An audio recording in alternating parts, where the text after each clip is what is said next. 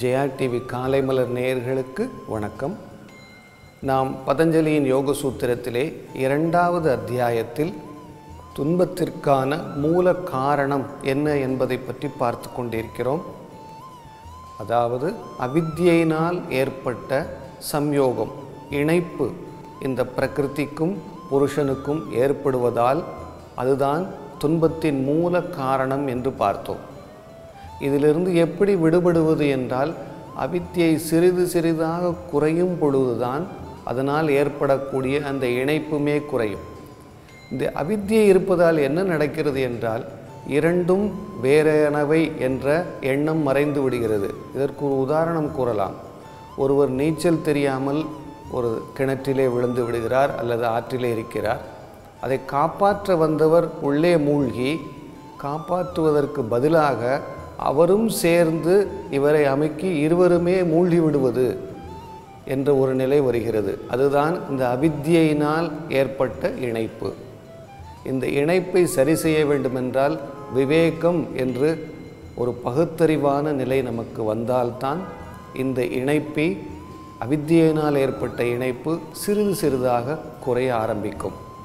அதை எப்படி நாம் செய்வது அந்த விவேகம் எப்படி நமக்கு வருகிறது என்பதை அடுத்த சூத்திரத்திலே சொல்வார்.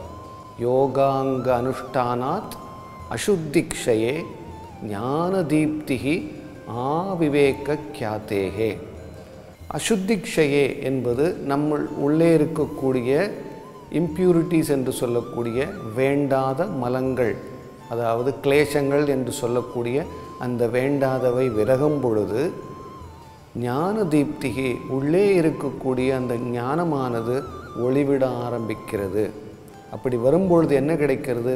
விவேக கியாதி என்ற ஒரு நிலையை அடைகிறோம். ஆவிவேக கியாதி அளப்பரிய இடைவெளி இல்லாத ஒரு பகுத்தறியும் மனப்பான்மைக்கு இந்த மனம் சென்று விடுகிறது என்று கூறுகிறார். இதுவரை யோக சூத்திரத்திலே இது வந்து திருஷ்டா என்றால் என்ன திருஷ்யம் என்றால் என்ன என்ற அந்த பகுதிகளை பற்றி பார்த்தோம். ஆனால் இந்த சூத்திரத்திலிருந்து அவர் இந்த பயிற்சி எப்படி செய்வது? எந்த மாதிரியான பயிற்சியை செய்ய வேண்டும் என்பதை அவர் கோடிட்டு காட்டுகிறார். ஏன்னால் யோகா என்பது அனுசாசன சாஸ்திரம். வெறும் படிப்பதினால் வரக்கூடிய அறிவு அல்ல பயிற்சியினால் வரக்கூடிய அறிவு. இந்த சூத்திரத்திலே அந்த பயிற்சியை பற்றி ஆரம்பிக்கிறார். யோக அங்க அனுஷ்டானாத். அந்த யோகத்தினுடைய அங்கங்களை நாம் பயிற்சி செய்யும் பொழுது சிறிது சிறிதாக நம்மை இருக்கக்கூடிய நம்முள் இருக்கக்கூடிய கிளேஷங்கள் அதாவது மலங்கள் குறைய ஆரம்பிக்கின்றன. அந்த மலங்கள் குறையும் பொழுது உள்ளே இருக்கக்கூடிய ஞான ஒளி அது வெளியே தெரிய ஆரம்பிக்கிறது. இதனால் நமக்கு அளப்பரிய விவேகம் என்று சொல்லக்கூடிய அந்த பகுத்தறியும் பாங்கு நமக்கு கிடைக்கிறது. நாம் இன்று படுத்துக்கொண்டு செய்யக்கூடிய புஜங்காசனம் பாம்பு போன்ற அந்த நிலையிலே வரக்கூடிய அந்த ஆசனம் எப்படி செய்வது என்பதை நாம் பார்க்க போகிறோம். நம்ம இன்றைக்கி புஜங்காசனம் பார்க்க போகிறோம் புஜங்கம் அப்படி அப்படின்னாலே படம் எடுக்கும் பாம்பின் நிலை அப்படின்னு அர்த்தம். பாம்பு முகத்தை தூக்கி படம் எடுத்து நிற்கக்கூடிய நிலை தான் புஜங்கம்.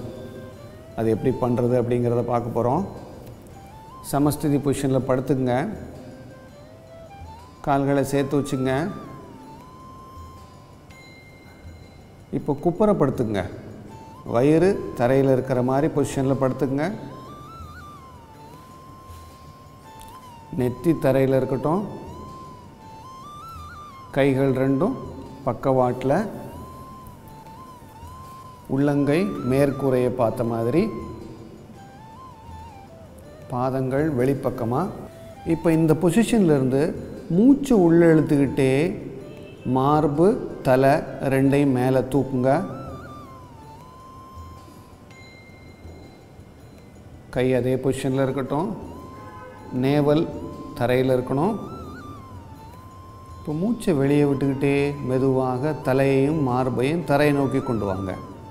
புஜங்காசனம் பண்ணும் பொழுது தொப்புள் தரையை ஒட்டி இருக்கணும். கிளாசிக்கலாக பண்ணும் பொழுது இதே இது இன்னொரு முறை பார்க்கலாம். மூச்சை உள்ளே எடுத்துக்கிட்டே நெஞ்சு தலை ரெண்டையும் மெதுவாக மேலே தூக்குங்க. ஒரு பாம்பு படம் எடுத்துக்கூடிய ஒரு நிலையில் இருக்கும் இந்த பொசிஷன் பின்பக்கமாக ஆர்ச் கம்ப்ளீட்டாக இருக்கும். கால்கள் ரெண்டும் தரையில் தான் இருக்கணும். இப்போ மூச்சை வெளியே விட்டுக்கிட்டே தலையையும் செஸ்ட்டையும் மார்பையும் தரைக்கு கொண்டு போயிடுங்க. இதே இதில் இன்னொரு வேரியேஷன் அதாவது கைகளை யூஸ் பண்ணி பண்ணுறது எப்படிங்கிறத பார்க்க போகிறோம் கைகளை பக்கவாட்டில் தோள்பட்ட வரைக்கும் தூக்கணும். அது எப்படிங்கிறத பார்க்கலாம். மூச்சு உள்ளே எடுத்துக்கிட்டே செஸ்ட் ஹெட் ரெண்டையும் தூக்குங்க. கைகள் பக்கவாட்டில் ஷோல்டர் வரைக்கும்.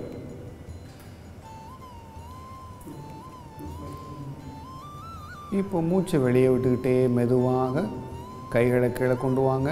தலையும் செஸ்ட்டும் கீழே கொண்டு போயிட்டோம் இன்னொரு முறை பார்க்கலாம். இப்போ மூச்சை உள்ளே இழுத்துக்கிட்டே மார்பு தலையை மேலே தூக்குங்க. கைகளை பக்கவாட்டில் தோள்பட்ட வரைக்கும். இதை சில நேரங்களில் விமானாசனம் அப்படின்னு சொல்லுவோம். ஒரு ஆகாய விமானம் போன்ற ஒரு பொசிஷன் இருக்கனால மூச்சை வெளியே விட்டுக்கிட்டே மெதுவாக தலை மார்பு கைகளை கீழே கொண்டு வாங்க. இந்த ஆர்ச்சை இன்னும் கொஞ்சம் இன்டென்ஸ் பண்ணணும் அப்படின்னா கைகள் ரெண்டையுமே முன்பக்கமாக கொண்டு போய் கோர்த்துக்கணும். அது எப்படிங்கிறத பார்க்க போகிறோம் இதே பொசிஷனில் படுத்துக்கணும் வயிறு தரையில் இருக்கணும். நெத்தி தலையில். பாதங்கள் வெளிப்புறமாக உள்ளங்கை மேற்கூரையை பார்த்த முறையில். இப்போ மூச்சு உள்ளே எடுத்துக்கிட்டே மார்பு தலையை மேலே தூக்குங்க. அதே மாதிரி கைகளையும் பக்கவாட்டில் மேலே கொண்டு போயிட்டு சேர்த்து போச்சுங்க.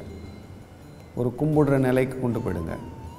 இப்போ மூச்சை வெளியே விட்டுக்கிட்டே மெதுவாக மார்பு தலை கைகள் கீழே கொண்டு வந்துடுங்க இப்படி அந்த முதுகு ஆர்ச் இன்னும் கொஞ்சம் நல்லா கொண்டு வர்றது அப்படிங்கிறது இது இலகுவான முறை அல்ல.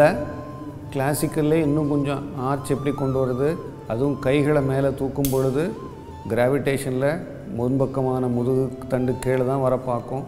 அதையும் ஆப்போசிட் பண்ணி மேலே கொண்டு போனோம். இப்போ மூச்சை உள்ளே எடுத்துக்கிட்டே மார்பு தலை கைகள் ரெண்டையும் முன்பக்கமாக மேலே கொண்டு வாங்க. கைகளை சேர்த்து வச்சுங்க மூச்சை வெளியே விட்டுக்கிட்டே மெதுவாக கைகளையும் தலை மார்பு கீழே கொண்டு போயிடுங்க. இன்னும் ஒரு முறை பார்க்கலாம். மூச்சு உள்ளே எடுத்துக்கிட்டே மார்பு தலை கைகள் ரெண்டையும் முன்பக்கமாக தூக்குங்க. கைகளை சேர்த்து வச்சுங்க மூச்சை வெளியே விட்டுக்கிட்டே மெதுவாக கைகள் தலை மார்பு கீழே கொண்டு வந்துங்க அவ்வளோதான் ஒரு ஒரு இது எவ்வளோ நிமிஷம் வந்தது? நம்ம இன்றைக்கி புஜங்காசனம் எப்படி பண்ணுறது அப்படிங்கிறத பார்த்தோம். புஜங்கம் அப்படின்னாலே படமெடுத்து ஆடக்கூடிய பாம்பின் நிலை பின்பக்கமாக முதுகுத்தண்டை நல்ல முறையில் வளைக்கக்கூடிய ஒரு நிலை. இது சாதாரணமாக நாம் செய்வதில்லை. நாம் செய்யும் எல்லா வேலையுமே முன்பக்கமாக குனிந்து செய்யக்கூடிய வேலையாகத்தான் இருக்கும். இது அதற்கு மாறுபட்டமான ஒரு நிலை. இந்த ஆசனம் செய்வது மிகவும் உகந்தது. ஏனென்றால் நம்மளுடைய முன்பக்கமாக குனிந்து செய்தே வேலையை பழக்கிவிட்டதால் மு முன்முதுகு பகுதி அதாவது முன் முதுகுத்தண்டு பகுதி முன்பக்கமாகவே குனிந்திருக்கும். சில பேருக்கு அந்த கூன் விழுவது போன்ற அந்த ஆர்ச் அந்த இடத்துல இருக்கும். இந்த ஆசனம் செய்யும் பொழுது அதை சரி செய்யலாம். அது மட்டும் இல்லாமல் முதுகுத்தண்டை நல்ல முறையில் பின்பக்கமாக வளைக்கப்படுவதால் இந்த முதுகுத்தண்டுடைய இளமை மாறாமல் நாம் பாதுகாக்கலாம். அதற்கு செல்லக்கூடிய எனர்ஜி சக்தியை வந்து நாம் பாதுகாக்கலாம். இரண்டு முதுகுத்தண்டுக்கு இடையில் இருக்கக்கூடிய அந்த இன்ட்ரா வெற்றிபரல் ஸ்பேஸ் என்று சொல்வார்கள். அந்த மஜ்ஜை அது விலகாமலும் பாதுகாக்கலாம். முதுகு வலி வந்தவர்கள் வலி நின்ற பிறகு இந்த ஆசனம் செய்வதால் அதை சுற்றி உள்ள தசைநார்கள் இருக்குவதால் அதன் பின்பு இந்த டிஸ்க் என்று சொல்லக்கூடிய மஜ்ஜை வெளியே வராமல் பாதுகாக்கலாம். இந்த இந்த மாதிரி செய்யும் பொழுது முதுகுப்பகுதி நல்ல முறையிலே வளை வளைவதால் மார்புக்கூடுமே விரிவடைகிறது. கைகளை மேல் நோக்கி தூக்கி அந்த ஆசனம் செய்வதை பார்த்தோம். பக்கவாட்டில் தூக்கி செய்வதை பார்த்தோம். முதுகுத்தண்டு நல்ல முறையில் விரிவடைகிறது. அதனால் மூச்சு வாங்கி விடக்கூடிய திறனுமே அதிகரிக்கிறது. எப்பொழுதுமே அந்த நம்மளுடைய முதுகுத்தண்டு சரியான முறையில் நேர்கோட்டில் இருக்கக்கூடிய அளவுக்கு பழகினால்தான் மூச்சு வாங்கி விடக்கூடிய அந்த திறன் அதிகரிக்கிறது அந்த நிலையுமே மேம்படும்.